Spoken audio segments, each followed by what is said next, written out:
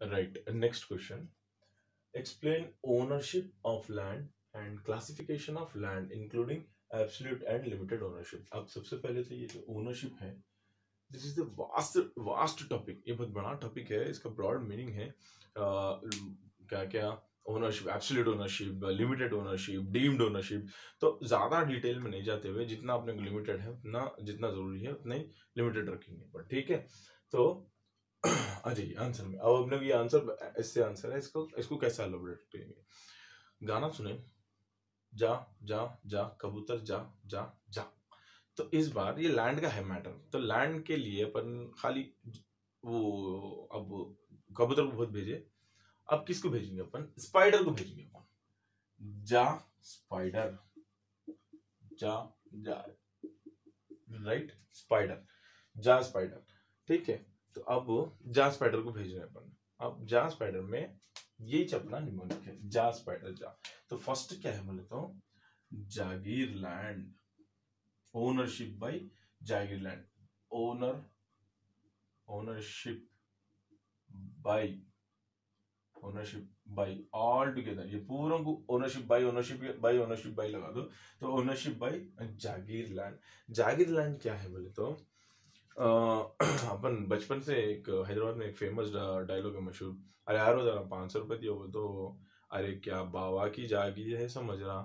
तो ये जागीर कहाँ से आया वर्ड ये? ये वही जागीर की बात है जो अब तक जो अपन बात कर वो मिसालों में दे लेते आते ये वही जागीर है। ये जागीर क्या है बोले तो जब पहले के टाइम पे, पहले के टाइम पे जो किंग्स थे, वो किंग लोग क्या करते थे बोले तो अपने पास जो काम करते ना अच्छा काम कर रहे हैं सो या फिर जिनके करीब जो है, या फिर उनको ज़्यादा उनको तोल शस्त्र को क्या बोलते हैं, ज़्यादा चापलूसी कर देना उन्होंने की या नहीं तो फिर खुशी से, उन्होंने अच्छा काम करे सर्विस तो उनको ज़मीन दे देते थे।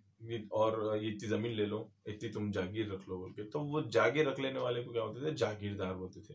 तो अब ये जागीर वही है ठीक है? जैसे जागीर लैंड, ठीक है?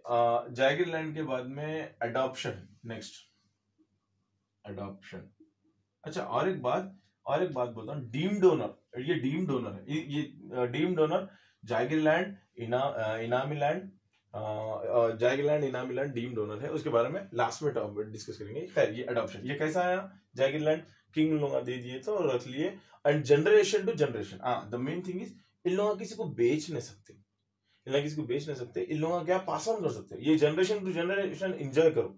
मगर तुम किसी को बेच नहीं सकते। चलो वो डिस्कस कर लेंगे। Ownership limited ownership limited ownership और एब्सोल्यूट ओनरशिप एब्सोल्यूट ओनरशिप बोले तो क्या है बोले तो? अब ये कोई प्रॉपर्टी है। ये, अब ये मेरी प्रॉपर्टी समझो। हाँ? ये प्रॉपर्टी को मैं किसी को बेच ये मैं इसका एब्सोल्यूट ओनर हूँ। एक्चुअली एब्सोल्यूट ओनर हूँ तो क्या मैं इसको किसी को बेच सकता हूँ? नहीं रख सकता हूँ तोड़ कुछ भी कर सकता हूँ। इसके साथ कुछ भी कर सकता हूँ उसको बेच सकता हूँ मैं किसी को पैसे लेके। लेकिन आ, अब मेरे को ये समझो मेरे टीचर दिए। टीचर देखे बोले तुम यूज़ करो इसको। इसको यूज़ करो लेकिन किसी को देना नहीं। ये बिकॉज़ मेरा पेन है बोल के कितना यूज़ करते तुम यूज़ करो? कितनी कब तक यूज़ करते यूज़ करो? मैं कभी भी पूछा तो मेरे को देना या फिर तुम किसी तुम्हारे पास रखना किसी को बेचना नहीं ठीक है बोल के मैं वही कॉन्ट्रैक्ट में या फिर वही बात से मैं लिया। अब मैं इसका एक्चुअल ओनर हो सकता हूँ क्या? एब्सोल्यूट ओनर हो सकता हूँ क्या? अब मैं इसको कहीं बेच नहीं सकता हूँ। तो इसको एब्सोल्यूट ओनरशिप मिलती मेरे को? नहीं। इसको बोलते डीम्ड ओनरशिप मतलब मैं इसको यूज़ कर सकता हूँ। इनफैक्ट मेरे दूसरे स्टूडेंट है तो मैं उनको दे सकता हूँ। उनके स्टूडेंट से उन पास ऑन कर सकता हूँ। जैसा वो थ्री इडियट्स में उन्होंने था ना, वीरू साहस बुद्धि वायरस उसका गुरु उसको पेन देता हूँ उन्हें फिर आमिर खान को देता हूँ पास ऑन होते।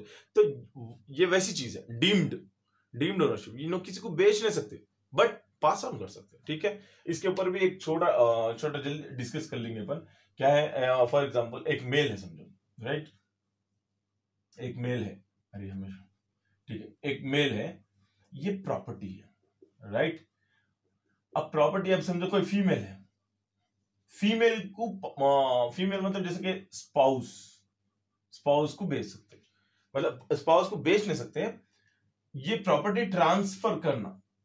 ट्रांसफ़र ये प्रॉपर्टी ट्रांसफ़र इसके फीमेल के नाम पे ट्रांसफ़र कर सकते जब अगर इनो इसकी वाइफ है तो ही, कोई अननोन है तो नहीं कर सकते। लेकिन और एक कंडीशन उसके अंदर क्या है बोले तो इनू ये इनू ये प्रॉपर्टीज़ को देने के बाद तुम सेपरेट रह लो बोल के नहीं बोल सकता हूँ। इनो भी इसके, इनो भी इसमें रहना, इनो भी इसमें रहना तो ये प्रॉपर्टी दे सकते ये दोनों भी यूज़ करना ये प्रॉपर्टी को टुगेदर सेपरेट सेपरेट नहीं। ये ले लो, ज़मीन ले लो कि चले जाओ बोल के बोले सकते नहीं। तो उसका मिस यूज़ करते कोई भी ऐसे बेच देते और क्या बोलते बोलते मेरे स्पाउस को दे रहा हूँ बोल के सब बोल के बोल सकते थे। ठीक है? तो बहरहाल, क्या बहुत है उसके अंदर कॉन्सिक्वेंसेस और ये ये सब कहाँ से आया बोले तो? Income tax income tax 1961 under section 27 under section 27 income tax 1961 under section 27 में ये सब एब्सोल्यूट ओनरशिप लिमिटेड ओनरशिप के बारे में है। तो इनु इनु इसको आ, आ, इसके नाम पे ट्रांसफ़र कर सकता लेकिन उस विदाउट कंसिडरेशन विदाउट कंसिडरेशन मतलब कोई इसके पीछे कोई फ़ायदा नहीं रहना जना कि मॉनिटरी होना, ना कि कोई मतलब कोई प्रॉपर्टी वगैरह। ये प्रॉपर्टी देके वो प्रॉपर्टी ले बोले तो होती बात थी तो पैसे दे के लेना विदाउट कंसिडरेशन है ना उससे उसका कोई फ़ायदा नहीं मतलब खाली गिफ्ट के तौर पे ना ट्रांसफ़र कर सकता है उसको। ऑनलाइन और उसके लिए उन्हें कोई ना कोई रिलेशन में रहना। या तो उन्हें अपने बेटे को कर सकता है, बीवी को कर सकता अपने कई खास रिश्तेदार को, भाई को कर सकता, या बहन को कर सकता। खास रिश्तेदार को उन्हें ब्लड रिलेशन को उन्हें वो ये प्रॉपर्टी ट्रांसफ़र कर सकता अब और एक कंडीशन क्या बोलता हूँ? ट्रांसफ़र करने के बाद ये दोनों अलग अलग नहीं रह सकते। दोनों एक ही इसमें रहने का है। देन बिफोर मैरिज नहीं कर सकते। अभी शादी होने वाली है के बेस पे तुम वो प्रॉपर्टी ट्रांसफ़र नहीं कर सकते। तो अब इन्हें क्या होता है? इन्हें इन्हें होता डीम्ड ओनर डीम्ड ओनर अगर इन्हें एब्सोल्यूट होना रहता तो इन्हें क्या कर सकता था? बेच सकता था ये प्रॉपर्टी ट्रांसफ़र कर सकता था विद कंसिडरेशन इन्हें प्रॉपर्टी ट्रांसफ़र नहीं कर सकता, इसके नाम पे विद कंसिडरेशन इसके लिए क्या है? डीम डोनर है ठीक है? ये डीम डोनर के बारे में बारे में दिमाग में रख लो। तो जागिर लैंड जो आईसो है, किंग से आईसो इन लोग भी क्या कर सकते हैं? किसी को बेच नहीं सकते, इन लोग किसी के नाम पे गिफ्ट कर सकते, किसी को पास ऑन कर सकते। जनरेशन टू जनरेशन तुम इंजॉय करो, लेकिन वो वो चीज़ को यूज़ करो, लेकिन तुम किसी को बेच नहीं सकते, किसी के और के नाम पे ट्रांसफ़र नहीं कर सकते जो दूसरे नाम का है। तो उसको क्या बोलते हैं? डीम्ड ओनर डीम्ड ओनर जागिर लैंड ये डीम्ड ओनर है। ठीक है? नॉन नेक्स्ट एडॉप्शन एडॉप्शन मतलब आ, अगर कोई बच्चे को अडॉप्ट कर लिए तो जो भी प्रॉपर्टी जो अडॉप्शन जो अडॉप्ट करे सो जो पेरेंट्स है मरने के बाद में ऑटोमेटिकली जो अडॉप्टेड चाइल्ड रहता अडॉप्टेड चाइल्ड को आता ना तो ownership by adoption ownership by adoption now next ownership by adoption now next succession succession adoption succession कुछ वो नहीं है। इसमें ओन बर्थ है। मतलब पेरेंट्स है पेरेंट्स का बेटा फादर है। फादर मरने के बाद में प्रॉपर्टी किसके नाम पे जाती है? ऑब्वियसली उसके लीगल हायर उसके बेटे को, या तो भाई को, या तो जो भी इसका लीगल हायर है, जैसे legal heir class one legal heir class two and क्या आइगेशन कॉग्नेशन तो इन लोगों को जाती समझो, ठीक है? तो उसको क्या बोलते हैं? Suction ownership by succession right now next अभी क्या है? मतलब पट्टा लैंड पट्टा लैंड जागीर लैंड कैसा किंग दिया उसमें।